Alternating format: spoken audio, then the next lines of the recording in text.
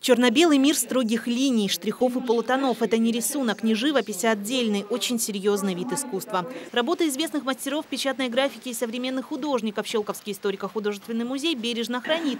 Оценителю гравюры предоставляет возможность увидеть, прочувствовать и погрузиться в мир черно-белой манеры. Именно такое название и получила выставка печатной графики, которая открылась в выставочном зале музея во Дворце культуры имени Чкалова.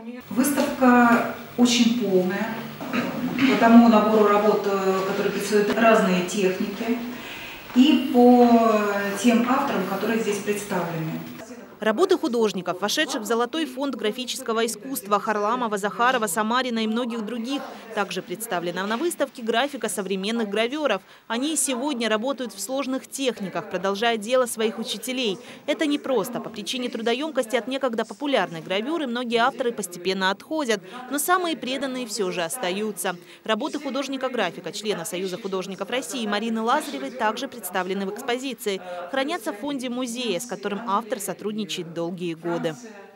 Один из редких э, музеев, э, вот не просто в Московской области, а я езжу там и более отдаленные места. Коллектив потрясающий, вот единомышленников, заинтересованных людей.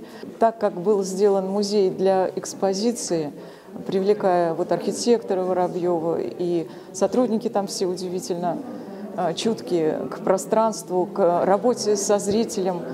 В таком камерном, небольшом, уютном зале сотрудникам музея удалось представить работы, выполненные во всех, за малым исключением, техниках печатной графики. Это ксилография, афорт, сухая игла, мецатинта и другие. Увидеть все воочию ценители гравюры смогут до 2 декабря. А для тех, кому хотелось бы еще больше познакомиться с миром графики, музей предоставляет возможность посетить лекции художника Марины Лазаревой.